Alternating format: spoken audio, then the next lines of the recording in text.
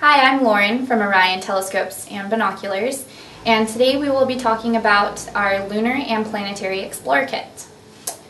Included comes with a mini LED red beam flashlight. This helps guide you around during the night. It also comes with a star target planisphere. This helps show what is visible during the night sky. It comes with a four-piece planetary filter set. This helps enhance the different features of the various planets in our solar system. It comes with a 2x Barlow lens. This will enhance the magnification of any eyepiece that you apply it to by two times magnification.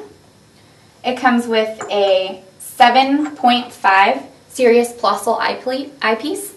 This also enhances the magnification of your telescope. It comes with a moon map the moon map will give you a detailed description of all of the craters that are located on the moon. And lastly, it comes with a Discover the Stars book.